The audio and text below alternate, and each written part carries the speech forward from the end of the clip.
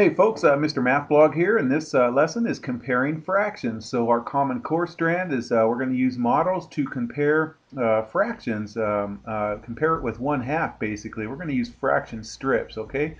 Let's do a little prior knowledge here. So uh, Chris walked 3 eighths of a mile to school, Jim walked 7 eighths of a mile to school. Who walks farther? And to explain. Okay, so what I did on this one, you guys, is I just made a rectangle, and the rectangle represents uh, one mile right here. And then I cut them up into eight equal pieces.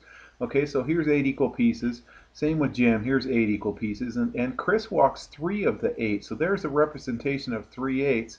Here's Jim's seven eighths right there. And since seven eighths is greater than three eighths, then uh, that tells me that Jim's going to walk farther on that, okay? Oops, I didn't even write that down. So Jim, Jim's the one who walks farther. All right. Okay, so uh, Monica made two uh, pies for her mother and father. After dinner, there was three-fourths of the apple pie left, and there was one-fourth of the cherry pie left. Which pie had more left, okay?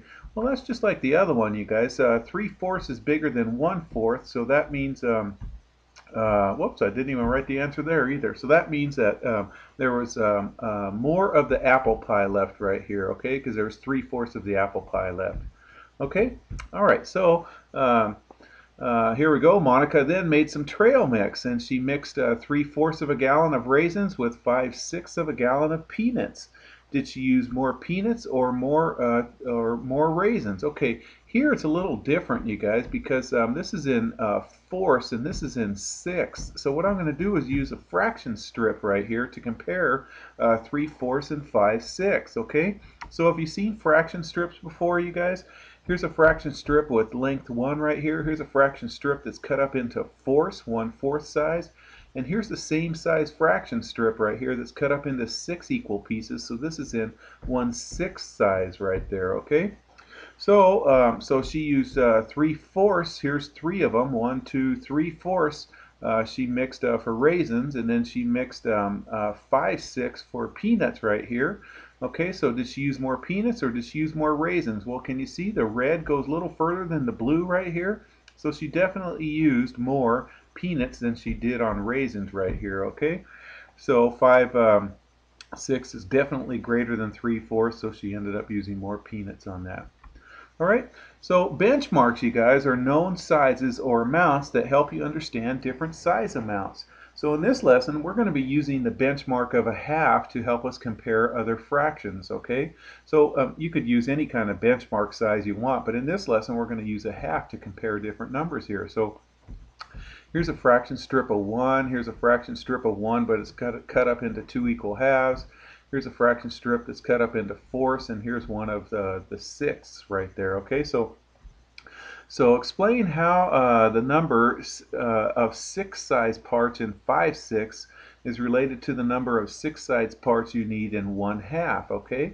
All right, so here's a half right here. So 6, uh, uh, uh, in, in 6, you need 3 6 to make a half right there, okay?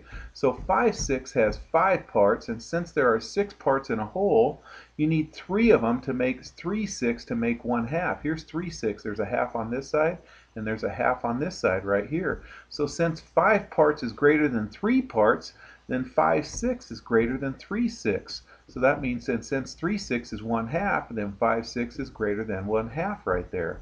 Okay, so that makes sense with those fraction strips right there? So write five fractions that are equivalent to a half.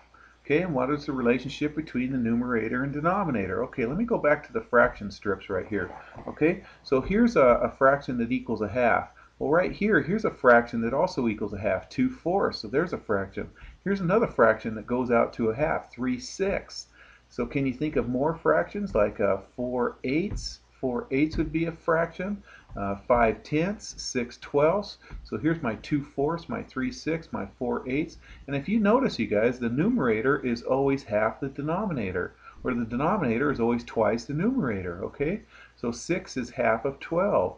5 is half of 10. 4 is half of 8. That's why these are all 1 half, because the numerator is 1 half the denominator.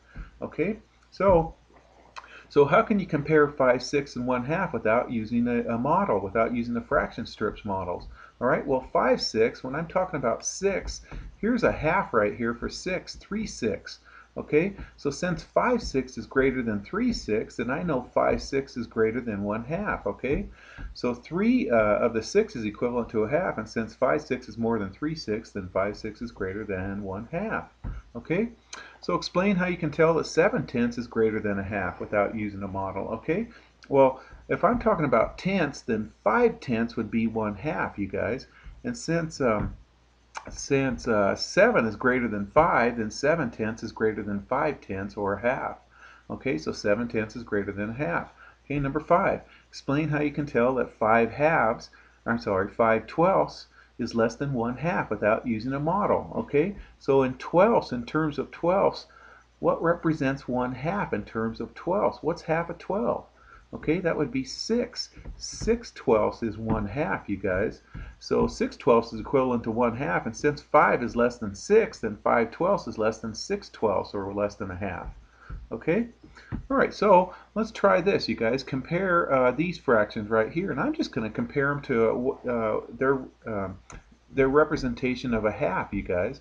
Okay, so we're going to write greater than or less than. This one says less than, this one says greater than. Okay, remember the greater than, the, the bigger number. Um, have you seen the Pac-Man symbol? I don't have that on here, but um, uh, the, it, it's always faced towards the bigger number.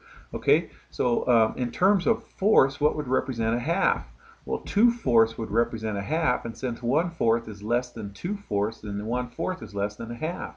Okay, and then um, uh, when I'm talking about 6, you guys, 3 6 represents a half.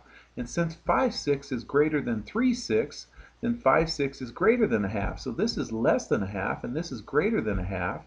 Okay, so I wrote it down here. Think uh, 1 fourth is less than a half, and 5 6 is more than a half. So it, the, it's going to have to go this way. 5 6 is greater than 1 fourth right there. Okay? All right, same over here, you guys. If I think of a half, 4 eighths represents a half, and since 7 eighths is greater than 4 eighths, then 7 eighths is greater than a half. Okay, and since 6 twelfths is equal to a half, and this is greater than a half, then it's going then 7 eighths is going to be um, uh, 7 eighths is greater than 6 twelfths. Okay, because 7 eighths is greater than a half, and 6 twelfths equals a half. Okay, over here. Okay, eighths, 4 eighths represents a half, and since 3 eighths is less than 4 eighths, this is less than a half. Okay, tenths, 5 tenths is a half, and since 7 tenths is greater than 5 tenths, then uh, 7 tenths is greater than a half. So this is greater than a half, this is less than a half, so 7 tenths is greater than um, uh, 3 eighths. Okay, all right, K twelfths, 6 twelfths is a half, this is greater than a half. 3 6 is equal to a half, so this is greater than this, so it's going to go that way right there. Okay, K 4 eighths, that equals a half. 5 tenths is uh, equal to a half, so 9 tenths is greater than a half. So this is greater than a half, this is equal to a half, so um, it's going to go this way. Okay? And then one more, you guys. Um, okay, this one's a little harder, you guys. This is, uh, what's half of 3, you guys? All right, well, um, uh, half of 3 is 1.5, and since this is less than 1.5, this is less than a half.